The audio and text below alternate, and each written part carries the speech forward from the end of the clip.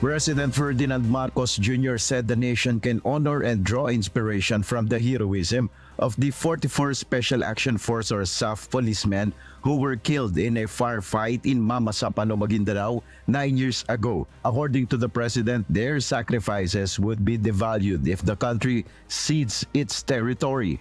We would also be disrespecting their memory if we give quarter to those who terrorize our people.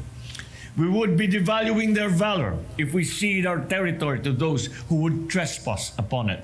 He also urged Filipinos to honor the 44 Special Action Force commandos by helping create a kinder and gentler society. So how do we pay homage to these brave men whose gallantry no memorial can fully capture, whose courage no words can fully extol?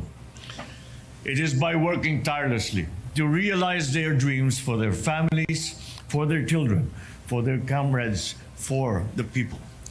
It is now up to us who live, who, to, who benefited from their full measure of devotion to duty, to build a kinder and gentler society, wherein those they have left behind can live in peace and prosperity.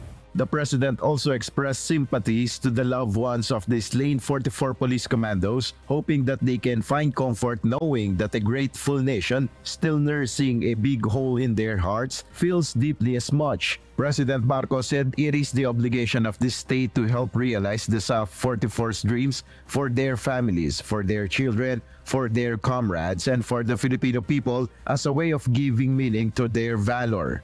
Meanwhile, Vice President Sara Duterte has expressed her tribute to the heroism and sacrifice of the 44 brave members of the PNP Special Action Force. In a statement, the Vice President acknowledged the courage and valor displayed by the said individuals and paid homage to the dedication and legacy they left behind, emphasizing that their example should serve as inspiration for all Filipinos. According to VP Duterte, the heroism demonstrated by the SAF commandos serves as a beacon, encouraging the nation to further advance the cause of peace. In light of the solemn occasion, PNP Chief Police General Benjamin Acorda Jr. has offered counsel to police officers, urging them to deeply appreciate the peace that the SAF 44 valiantly fought for in service to the nation. As one united Team PNP family, we must remain worthy of the great sacrifices of our fallen heroes, forever loyal to the country they love and serve and the freedom they fought and died for. Del Maribuhok, UNTV News and Rescue, we serve the people, we give glory to God.